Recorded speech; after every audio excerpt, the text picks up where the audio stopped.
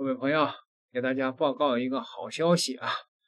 华为的 Mate 七零手机确定搭载着新一代的华为麒麟芯片，而且都是国产的光刻机生产的。中国的国产光刻机取得了一个重大的突破，可以说已经成了。那世界的半导体产业那要塌房了吧？现在中国的这个芯片。主要是一些这个中低端的芯片已经占了这个世界半导体的半壁江山啊！光刻机成了以后，那就是走别人的路，让别人无路可走，那不是活该吗？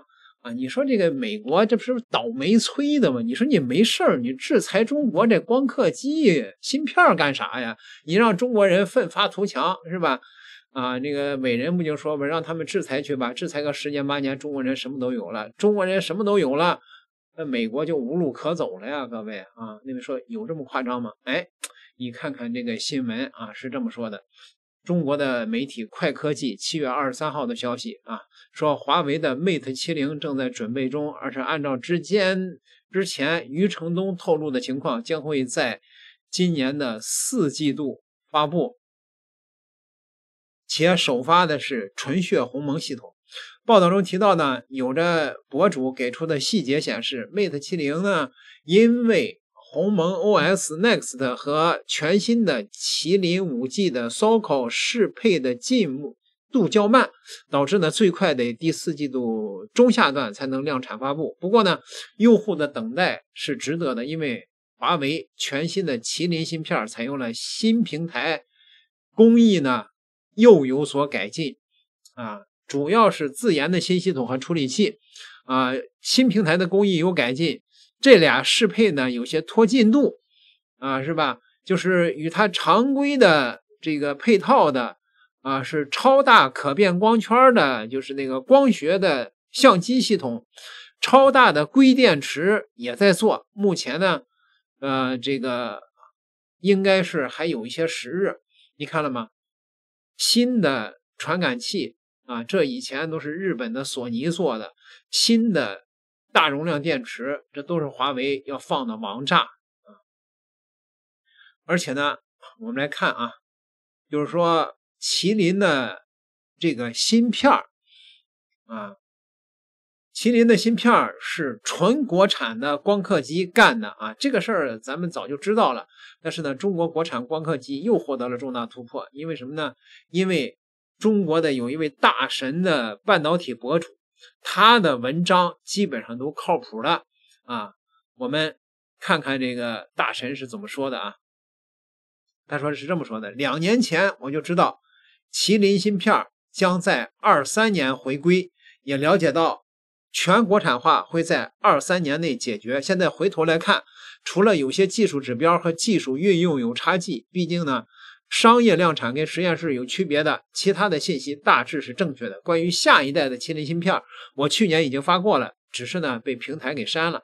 啊，不知道这次这个还留不留得住啊？我再描述一遍，采用了 N 加二。Plus 的工艺，N 加二就是双重曝光嘛，是双重曝光 Plus 的工艺，密度超过一点四亿每平方毫米啊，就是晶体管呗，是吧？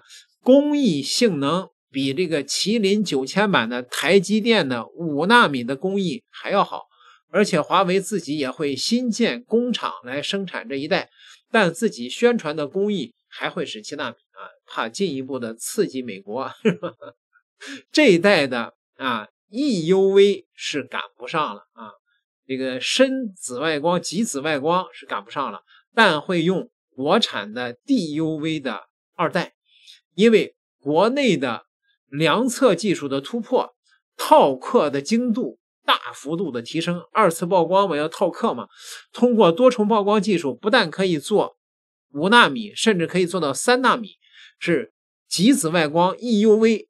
国产的今年也会出来，在下代密度超过两亿的工艺的少数关键层中运用，但也可以只用啊 DUV 二代。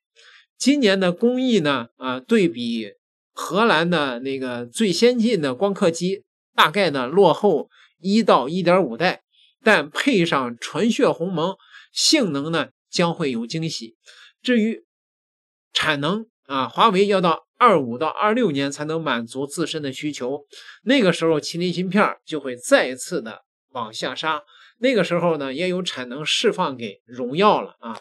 接下来就是等国内半导体的成果发布了。我本以为会在去年发布的，因为在中美金融战以及股市救市的大背景下，这是一个极好的预期的好消息，也就是控盘的手段。但中国还是比较务实的，在等国产化的完成。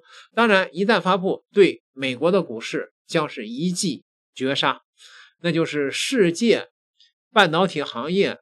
又塌房了啊！各位，这位消息灵通人士是这么说的：“他说呢，DUV 二代呢稍强于荷兰阿斯麦的二幺零零 i，国产的 EUV 落后阿斯麦最好的 EUV 才半代。明年呢，华为目前自己的工艺配合国产的 EUV，最高可以达到二百五十。”四亿每平方毫米啊，就是晶体管，比台积电的 N 三工艺要强百分之五十。EUV 只会有这一代，下一代是零点一纳米的稳态的微距数光源。好家伙啊，这直接就极紫外光，这个那都跳过去了啊，这就直接。中国的零点一纳米的这个新光源了，哎，这太令人惊讶了。这个啊，说 DUV 解决了，EUV 也快了，但是量产、上产线、产能提升都是需要时间的。像华为这样率先导入并自己进入芯片制造的，要满足产能，估计二五二六年。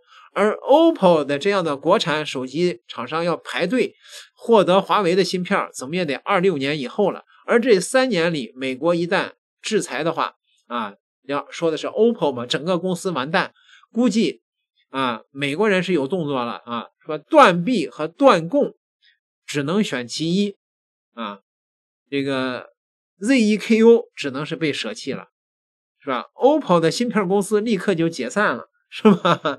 因为 OPPO 啊，他觉得有华为珠玉在前嘛，啊，他自己在做芯片就没大意思了啊，所以呢，OPPO 国产的这些这个厂商啊，干脆都用华为的就得了，啊，自己不做了。大神们透露啊，说七月二十四号透露，华为的新麒麟的九系内部代号 HI 三六 B 零。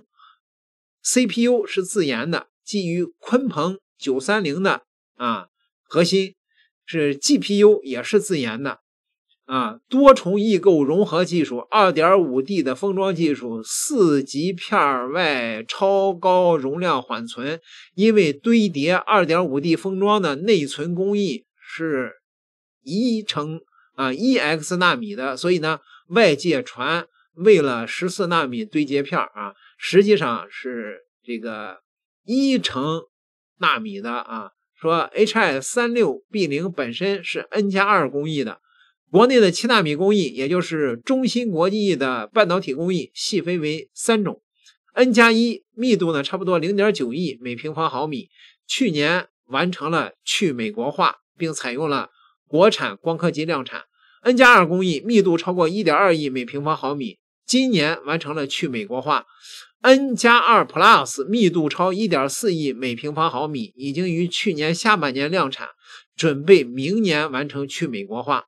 由于加持了华为自研的啊 FinFET 晶体管的技术，就是那个一个堆叠技术吧，是吧？